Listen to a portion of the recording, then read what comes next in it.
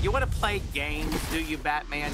Save the city or catch your greatest enemy. You think you're my greatest enemy? Who else drives you to one-up them the way that I do? Superman. Superman's not a bad guy. I like to fight around. Are you seriously saying that there is nothing special about us? There is no us. Never will be. Now, I gotta defuse that bomb. Batman, we love you!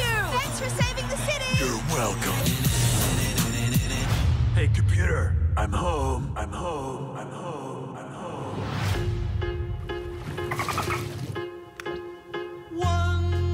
Master Bruce, you need to take responsibility for your life, and it starts by raising the young orphan you adopted. It's the Batcave. Do I get a costume? Fine. I love it. I got an idea. Rip. It's better. I can only look you in the eyes right now.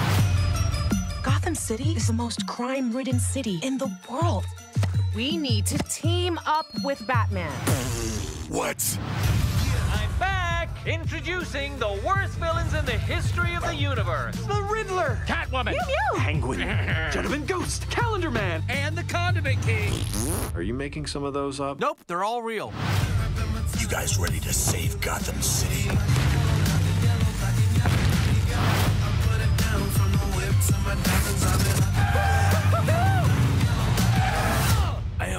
So sorry. As soon as I get back to the Batcave, I will make sure that Alfred puts seatbelts on there. But for the time being, I'm just gonna put my arm right here. Yeah. Hey, Batman! I'm rubbing my butt all over your stuff. We're gonna have to rename this the Buttmobile.